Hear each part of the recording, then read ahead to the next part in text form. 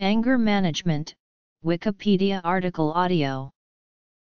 Anger management is a psychotherapeutic program for anger prevention and control. It has been described as deploying anger successfully.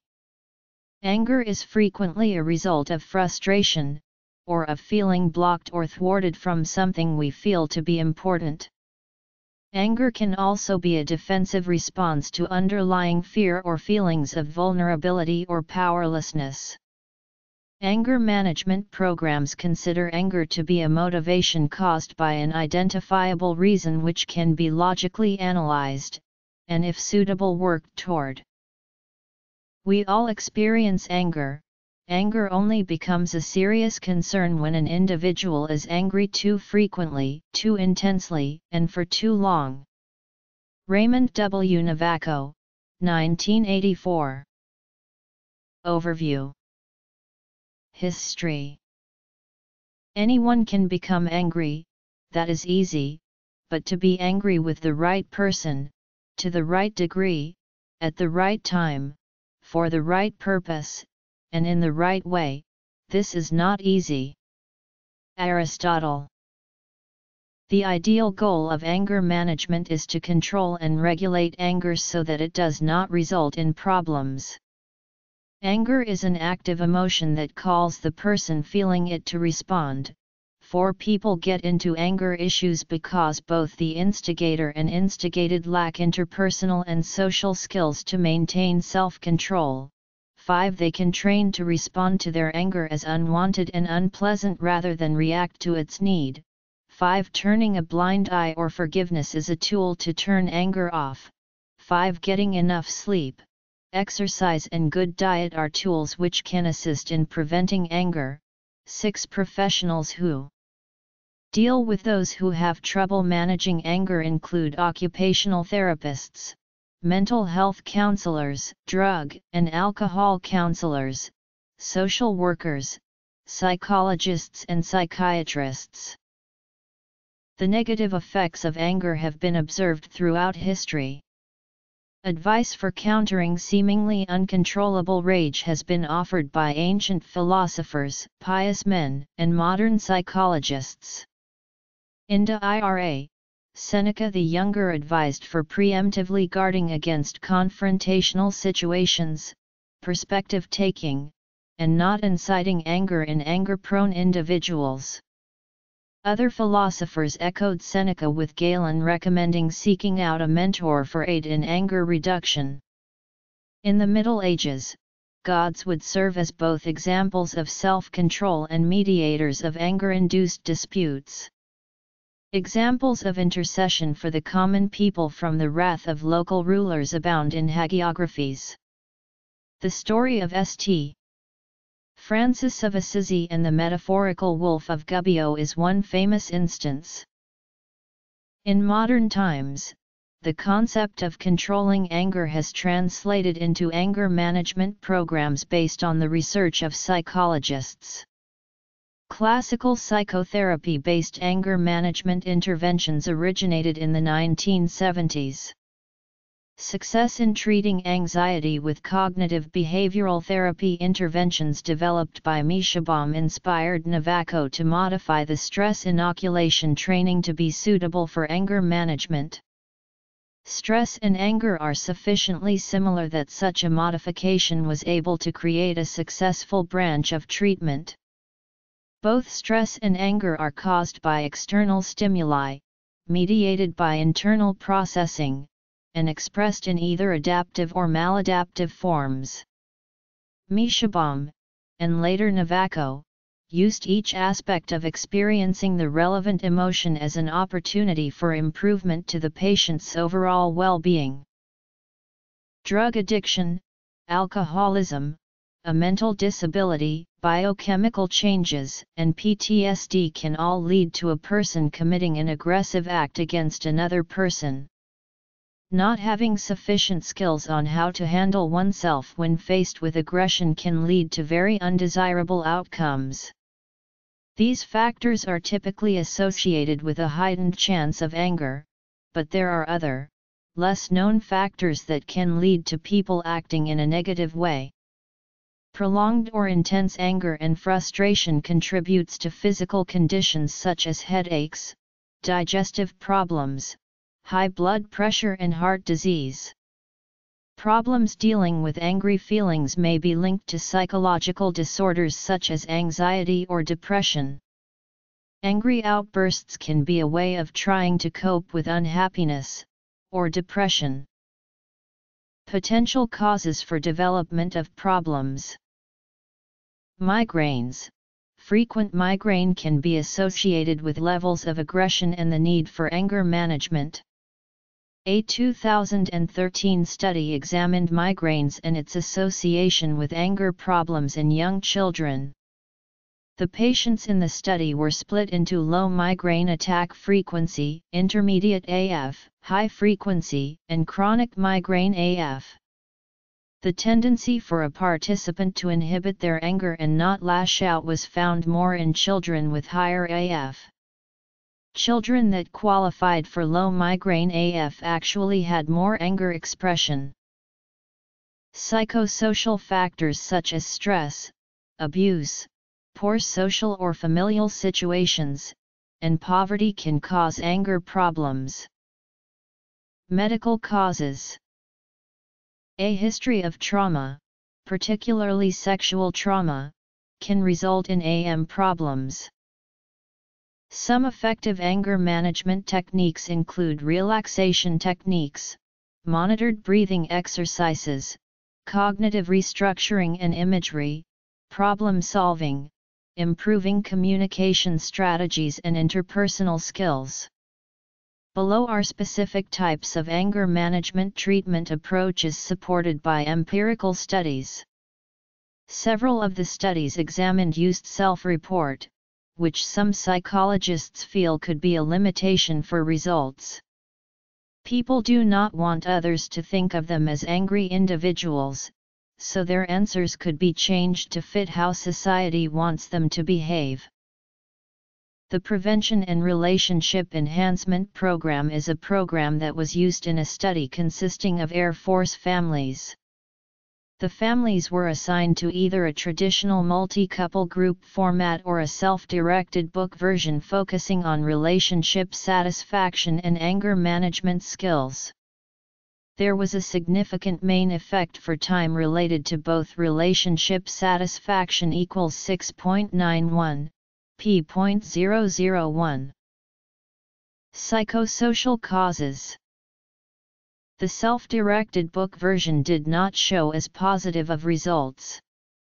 Improving a couple's anger management skills can be a vital step in ensuring there are no violent outbreaks throughout the relationship. Trauma The use of cognitive behavioral therapy is frequent in anger management treatment. By trying to get a patient to open up about their emotions and feelings and being driven to accomplish a specific task, a person is cognitively motivated to use positive skills towards their behavior. Types of treatment Studies show using a mix of CBT as well as other therapies on the participants/clients increased the effective usage of the anger management techniques and that they also felt more in control of their own anger. Personal changes like these can lead to less aggression and fewer violent acts. The use of play therapy with this is also found efficient in tackling anger issues among children. This is a style that is commonly used in elementary schools for students expressing anger outbursts. Researchers who have looked into the reason for young student anger have found that one common reason could be the inability to adjust socially. Students that were selected for this study received a daily one-hour session throughout one week of school. The researchers of the mentalization program educated children through group therapy in positive psychology and tried to do activities that put the child in a happy mood while interacting. At the end of the week, research showed that there was a negative correlation between anger and social adjustment. This process lowered the overall anger levels of the students involved in social adjustment deficits.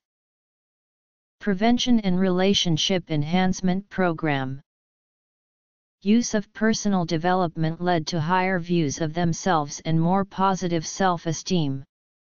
Aggression has been shown to be a result of poor self-worth as well as thinking that those around us do not care or support us, so this PD is vital in helping change a person's self-perception. Understanding one's own emotions can be a crucial piece of learning how to deal with anger. Children who wrote down their negative emotions in an anger diary actually ended up improving their emotional understanding, which in turn led to less aggression.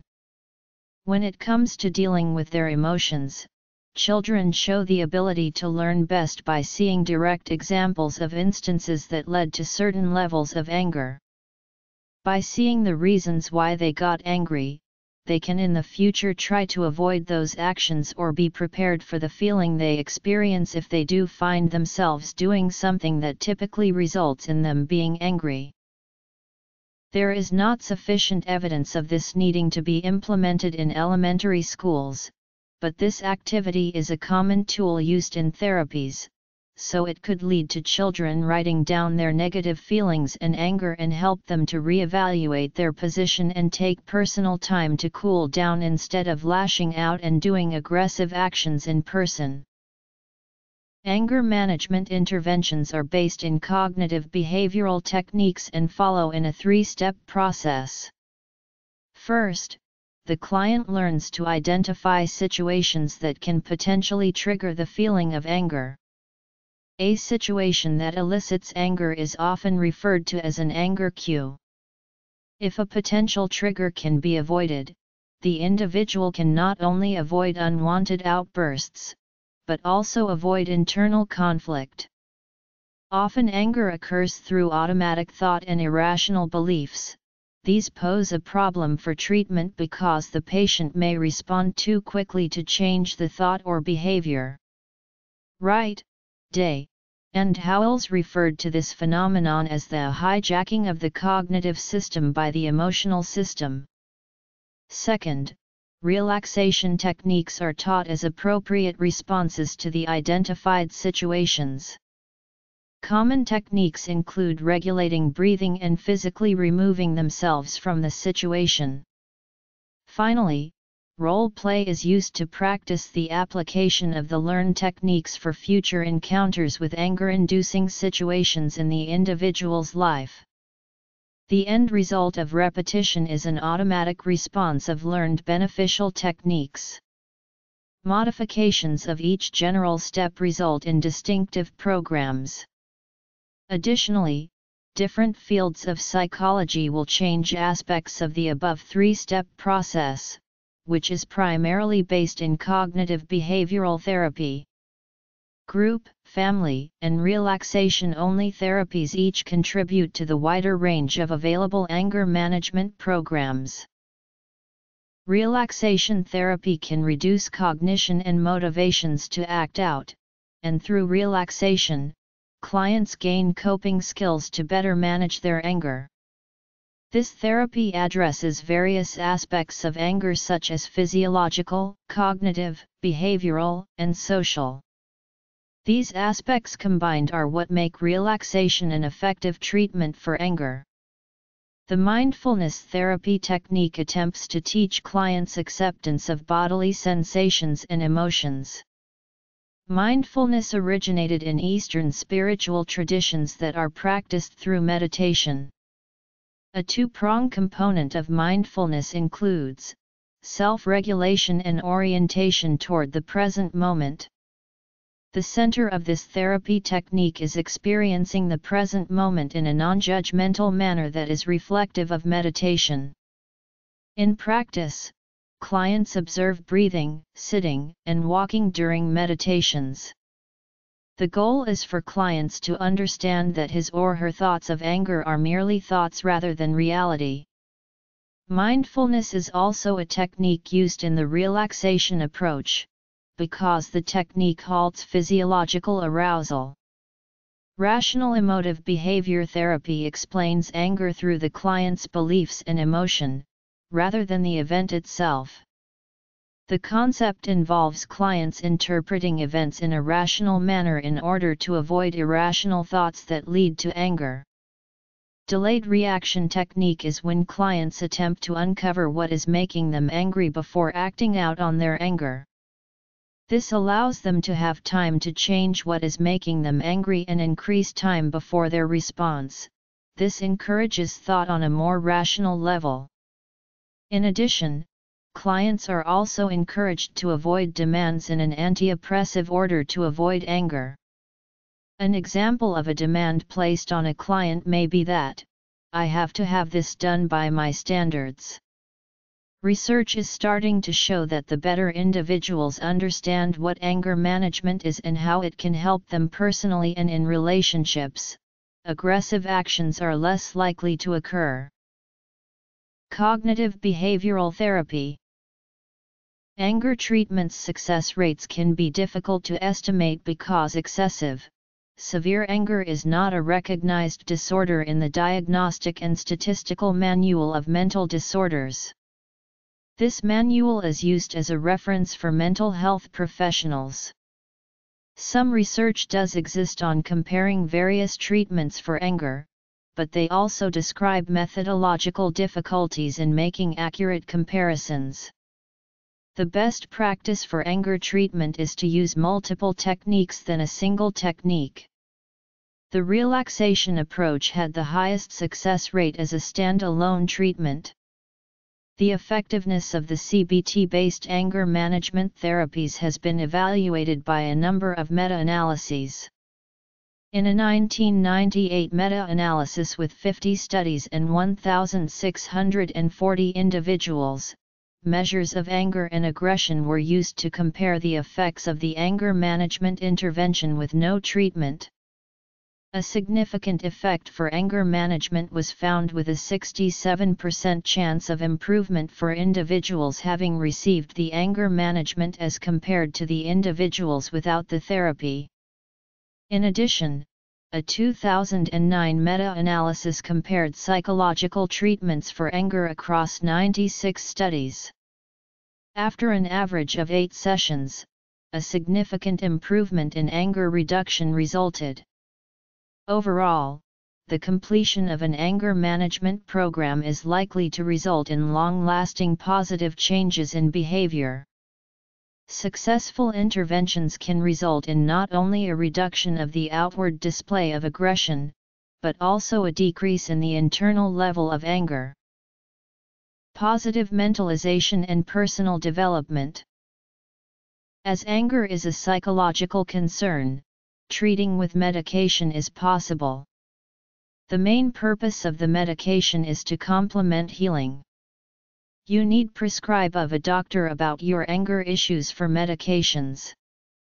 Antidepressants like Prozac, Celexa, and Zoloft are usually prescribed for anger-related issues.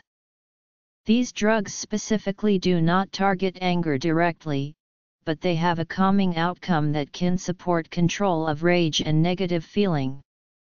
There are plenty of supplements and medications available that can be used in improving mood and managing anger like Valerian, Primal Calm, Benadryl, Passion Flower, Chamomile, Magnesium Citrate. Benadryl is used to reduce anxiety and is an anti-allergy medication. Valerian and proloftin are herbal extracts that supposedly helps in lowering stress and promotes calm feelings. Passion flower and chamomile are generally consumed in tea or as tablets for supporting mood by removing anxiety. One motivation for seeking anger management can be career-related. As both a preventative and corrective tool, anger management is available to help individuals cope with potentially anger-inducing aspects of their jobs. One such situation applies to caretakers of individuals with mental illness. The daily stress combined with slow or no progress with the people under their care can create a high level of frustration. Skills training for caretakers of relatives with dementia has been developed to help cope with these feelings of frustration in a positive manner. Anger management is also beneficial in law enforcement. The role of police officers is to protect civilians, however conflicts between the police and the general public can develop. The goal of anger management would be to reduce such occurrences like police brutality from negatively impacting the relation between law enforcement and citizens. Anger management programs tailored towards this goal could orient themselves towards these means by focusing on conflict resolution and including specific law enforcement scenarios in the training.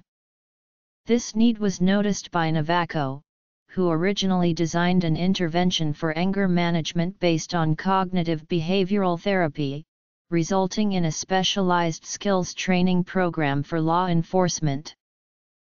Anger journal writing. Other evidence-based approaches. Medication. Affected populations. Couples also in the brink of dissolution of their marriage need to understand what to do about intimate partner violence, and the more knowledgeable the individuals are on how to manage their anger, the better prepared they are when confronted with a problem with another person the ability for young children to understand their emotions and how to react in certain situations can greatly increase their chance of expressing themselves in an appropriate manner.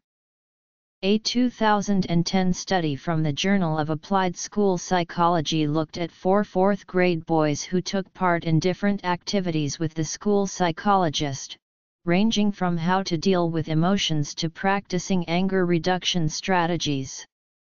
They found a positive correlation between partaking in these meetings and less anger expressing in a multitude of locations. Anger management programs with a cognitive behavioral basis have been modified for children and adolescents. There are three common types of CBT aimed at the youth. First, life skills development uses modeling to teach appropriate reactions to anger. Second, effective education focuses on identifying the feelings of anger and relaxation. Finally, problem solving conveys a view of cause and effect for situations as an alternative to anger. A wide range of methods can be used to convey these three components, with both age and severity being important factors. For younger children, involvement can be increased by presenting anger management in more of a fun format with educational games and activities being available.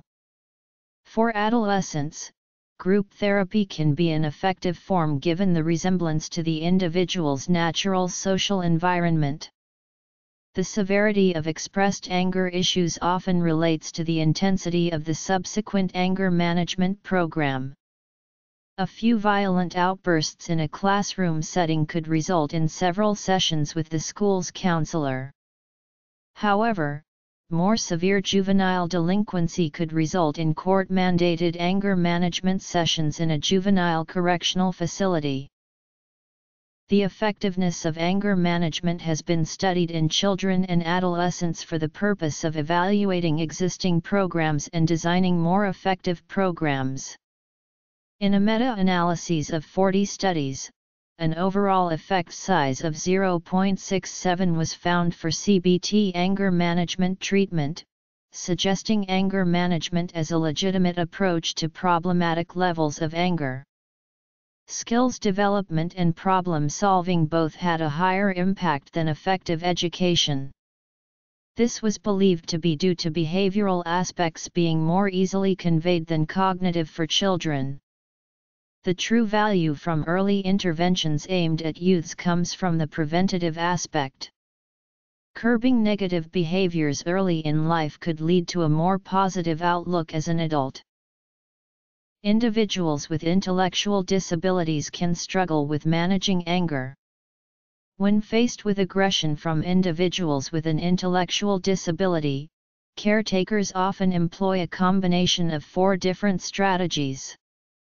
Depending on both the setting and individual, the following strategies for aggression minimization present in different ways. The need for anger management is also evident in situations where individuals with intellectual disabilities are prescribed psychotropic medication as the result of aggressive and slash or self-injurious behavior. The medication's role as a chemical restraint does not help modify the underlying cause of aggression. Sedation is best used as an emergency measure with skills training as a long-term solution to decreasing the overall rate of violent incidents. In a meta-analysis reviewing 80 studies, behavioral-based interventions were found to be generally effective in modifying behavior. Additionally, cognitive behavioral therapy as administered by lay therapists was found to be effective, which supports the feasibility of such anger management programs. This is a group that a majority of the population might not associate with having AM problems, but research shows over half of the population of Americans with intellectual disabilities displays violent and aggressive actions somewhat regularly. People with a learning disability tend to express anger and aggression to even those who help them on a daily basis. Adults with intellectual disabilities are at high risk of acting aggressive and being sent to clinics due to their actions. Adults The theory of the mind approach states that people with anger management problems tend to be unsteady mentally and are not able to internalize any blame for their actions. One of the main reasons for anger outbursts is externalizing blame and having a quick impulse to lash out. These individuals need to have a better understanding of what their actions mean and that they should understand that blaming themselves for problems can sometimes be the right thing to do. One study found that offenders who were currently in high security hospitals that went through a self report 20 class training program actually had very positive results. Results of the self report showed a decrease in aggression and a lack of responding when angry. There were two issues to keep in mind though, a hospital setting and a setting in which the researchers did not want to provoke much anger due to the instability of the patients. In one meta-analysis study composed of studies completed from 1979 to 2010, school-aged children who were identified as having aggressive personalities were given several different anger management classes. Overall, results showed slightly positive results for children receiving the classes. The course is aimed at reducing negative emotions in the children and trying to help them with self-control. While no overarching conclusions could be made, researchers state that children going through anger management courses are more prepared to combat their anger internally and less likely to act out. Children and adolescents Individuals with intellectual disabilities. Violent criminals. There is no statistical information that shows people whose substance abuse also have high rates of aggressive actions. However, researchers believe this is a group of people that should be studied due to their questionable decision making and typically unstable mental health. Substance abusers could benefit from anger management to prevent potential aggression. This group can benefit from extended CBT dealing with anger management issues. One study dealing with N equals 86 war veterans found that during the 12 sessions of training, anger traits slightly dropped as well as small reductions in expressing anger. Research also indicates that their antisocial personality traits upon return can put them behind in society, so finding the right anger management courses is of vital importance. There were not significant enough findings from this study to definitely recommend veterans with PTSD to use CBT anger management courses. People with a traumatic brain injury can display impulsive, aggressive, and dangerous actions. A study in the brain injury showed that one way to prevent such actions is a community-based treatment of people with TBI. Results indicated that the need to lash out diminished after the 12-week program, and a series of post-treatment testing showed a decline in self-reported frequency of angry actions.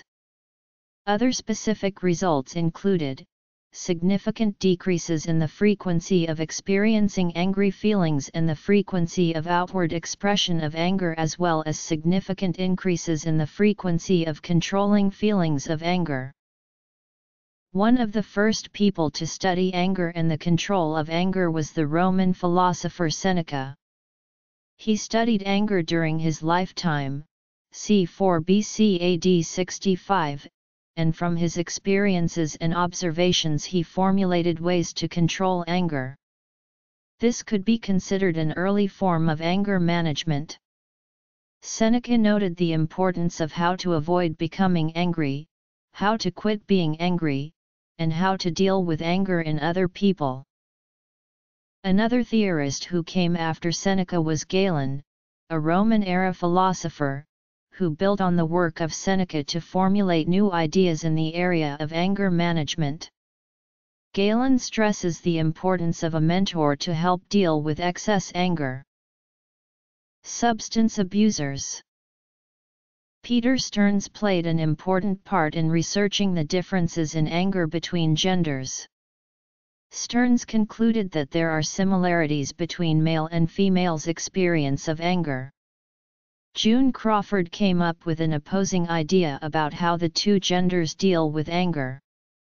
Her research concluded that men and women deal with anger by different means.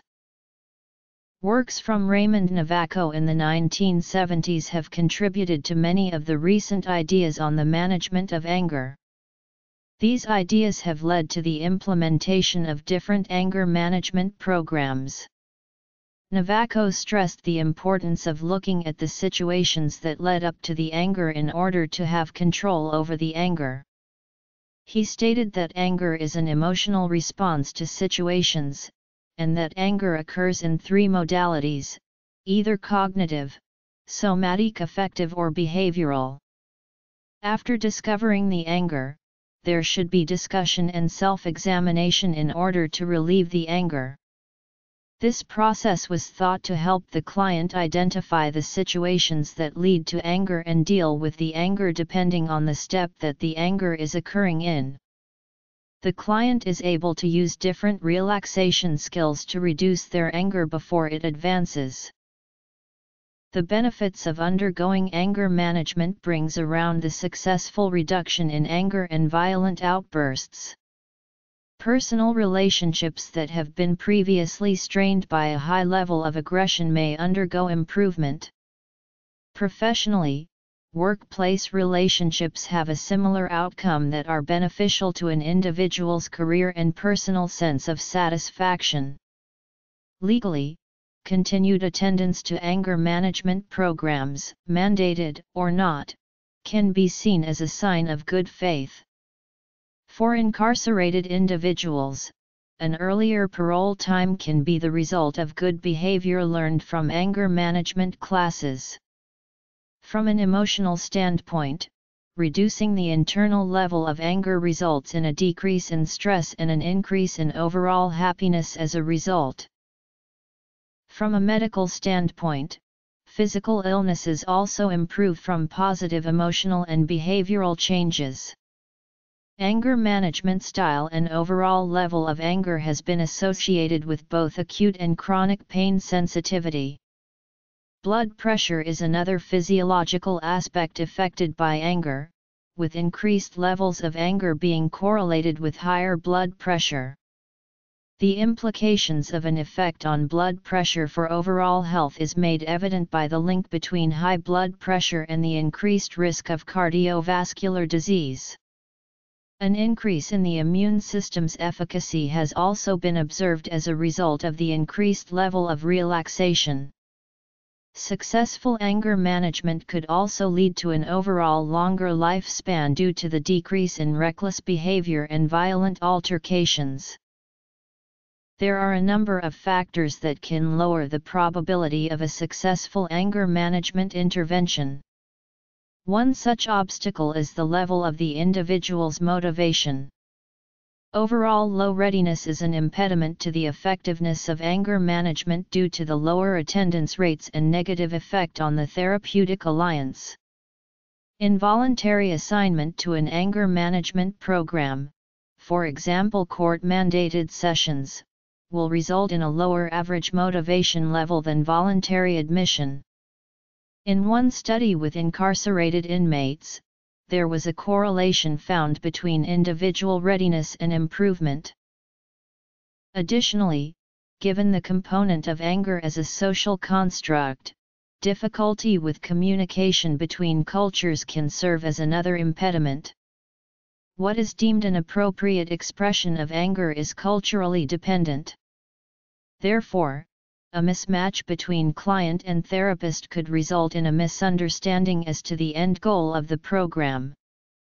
For example, a client could only wish to decrease physical violence, while the therapist aims to decrease both verbal and physical outbursts. Gender-dependent expectations of anger expression can contribute as well to societal standards. The same violent outburst for a man and woman is subject to different interpretations due to anger being seen as more permissible in males. The cost of taking anger management could also be a significant obstacle if the person does not have health insurance. The time required for anger management depends on the program. Weekly one hour sessions with 8 to 12 sessions per program are common, but a single intensive all-day session variety exists as well. The monetary cost can amount to $90 $120 per session for general therapy, or much higher fees for specialized coaching. The availability of anger management programs locally can be problematic for more isolated areas, creating an additional cost for travel. However, Online options can follow the same structure as an in-person intervention with similar outcomes. Post-traumatic stress disorder individuals. People with traumatic brain injuries. Associated people. Seneca. Peter Stearns. Raymond Novaco Benefits. Impediments